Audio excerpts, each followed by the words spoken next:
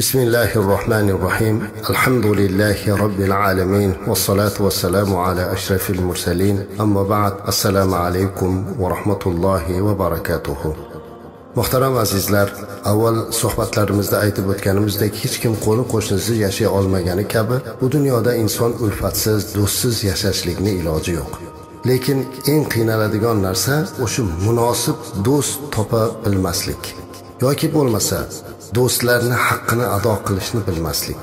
Mana bu narsa bizni ko'p qiynaydi. Ba'zan xiyonat ba'zan ko'rko'rona do'st bo'lish.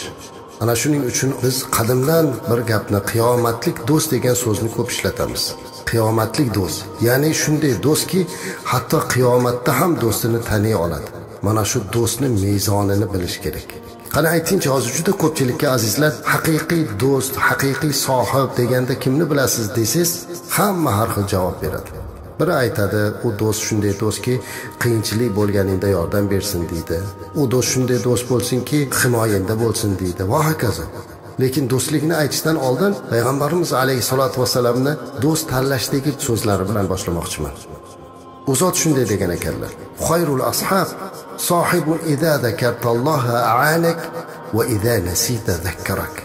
Kama rasululloh sollallohu alayhi vasallam ya'ni do'stlarni eng yaxshisi shunday do'stki sen ollohni eslamoqchi bo'lganingda eslashga yordam beradi ollohni esingdan chiqarib qo'yganingda esingga solib qo'yadi dedilar. Bu mezon rasulimiz alayhissalotu vassalamning mezoni. Sizni ollohni eslatadigan do'stingiz bormi? Ollohni eslamoqchi bo'lganingizda yordam beradigan do'stingiz bormi? Demak siz yaxshi do'st topa olibsiz. Shunday ekan azizlar bugun mana shunday yaxshi do'st topish ulfatchilik umuman jamiyatda yashayotgan har bir mo'min musulmon bir biri bilan ulfat bo'lib birodar bo'lib yashashlik haqida suhbatlashamiz. Ulfatchilik bu mundoq qilib aytsak husni xulqning mevasi hisoblanadi. Ammo tafriqa esa ya'ni tarafkashlik bu yomon xulqning samarasi hisoblanadi. Husni xulq muhabbatga ulfatchilikka muvofiqlikka sabab bo'ladi. Ammo yomon xulq hasadga yomon ko'rishga dushmanlikka olib keladi. Islomda husni xulqni o'rni nihoyatda baland. Jumladan payg'ambarimiz alayhissalotu vassalamni alloh taolo shunday deb sifatlaydi. Billah va azim. Albatta siz buyuk xulq ustidasiz deydi. haqiqatda ham payg'ambarimiz alayhissalotu vassalamning xulqidaqa xulq yo'q edi azizlar eng buyuk husni xulq sohibi bizga xulqshunoslik bo'yicha ta'lim beradigan asosiy ustoz va namuna bu sarvari koinot payg'ambarimiz muhammad mustafa sollallohu alayhi vasallamdirlar abu hurayra roziyallohu anhudan rivoyat qilinadi قال سئل رسول الله صلى الله عليه وسلم عن أكثر ما يدخل الناس الجنة faqola taqvolloh va husnul xulq imomi termiziy rivoyat qilyapti payg'ambarimiz alayhissalotu vassalamdan bir zot so'rayaptiki jannatga odamlarni eng ko'p kirgizadigan qaysi amal deganda payg'ambarimiz alayhissalotu vassalam jannatga eng ko'p kirgizadigan bu taqvo va husni xulq dedilar qarang azizlar taqvo bu ollohdan qo'rqish va shuni barobarida husni xulqni qo'yyaptilar demak jannatga husni xulq ila kirib olishlik imkoniyati bo'lyapti.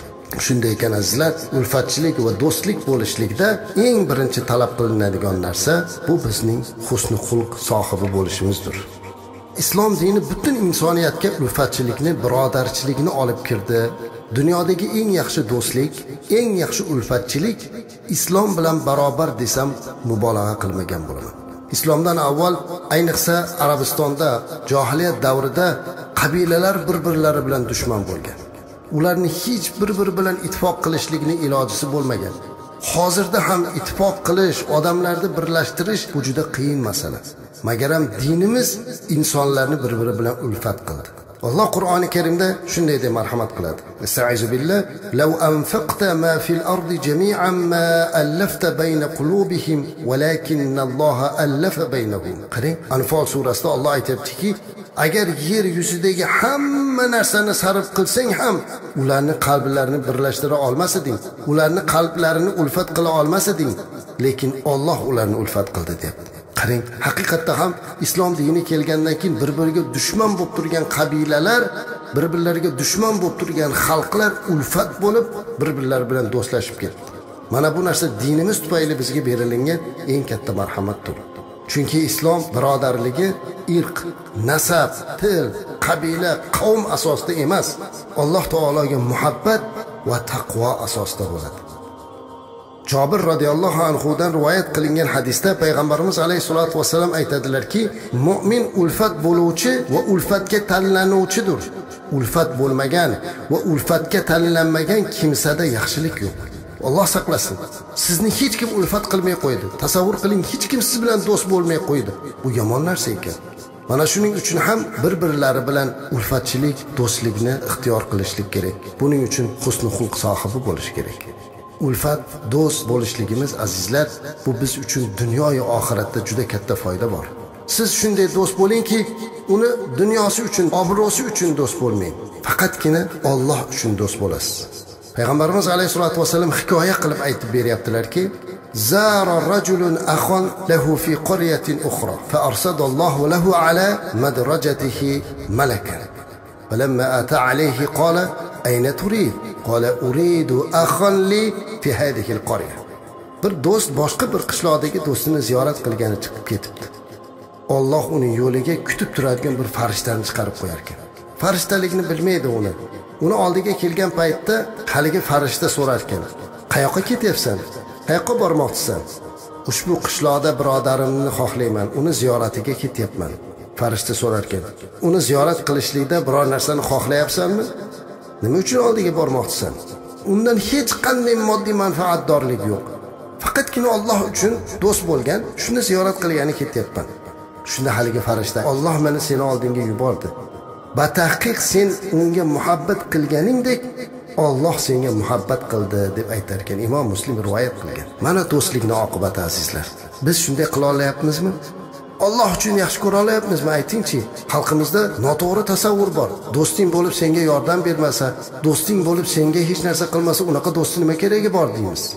Do'stlikda bu masalalar ham bor lekin asli niyatda bunday bo'lmaslik kerak. Ya'ni do'st xolis Alloh uchun bo'lmoqligi lozim.